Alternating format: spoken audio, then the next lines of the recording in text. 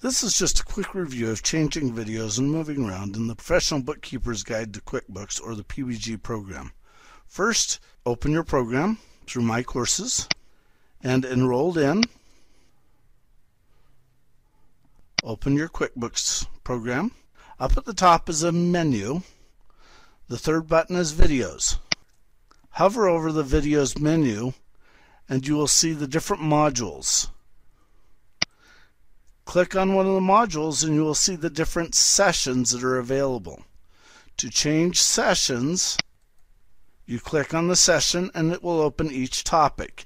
Each one of these topics is a video. If you wanted to go to Accounting 101 and the Chart of Accounts video, we click on that and we are now at the Chart of Accounts video and our workbook has opened as well. You can change workbooks by going to the workbook icon and using the same method of hovering over and clicking on which module. The third area I want to go over real quick is the resources.